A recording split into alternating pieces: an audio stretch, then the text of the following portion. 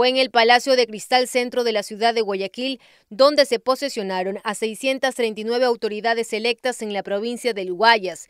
La ceremonia estuvo dirigida por la presidenta del Consejo Nacional Electoral, Diana Atamaín, y demás consejeros del organismo. La primera en recibir su credencial fue Marcela Aguiñaga como prefecta del Guayas, quien se refirió a las denuncias que existieron meses atrás respecto a un supuesto centro de cómputo de actas paralelo de su partido. No basta con creerse demócrata. El activismo político no cabe en una institución que se supone que debe garantizar la transparencia de un proceso electoral. No podemos hablar de democracia plena sin neutralidad.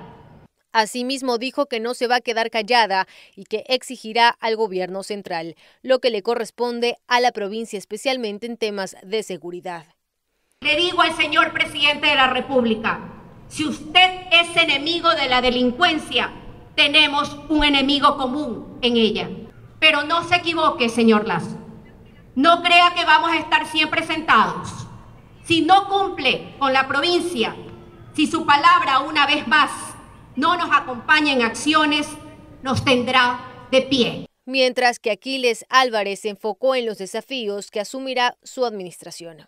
La provincia está en llamas, esa es la realidad, y Guayaquil está en candela, la situación está muy dura, pero si Dios nos trajo aquí es porque tiene un propósito. Tamaín precisó que en la provincia todavía queda pendiente la entrega de credenciales tanto de Naranjito como de San Borondón, quienes aún mantienen procesos abiertos.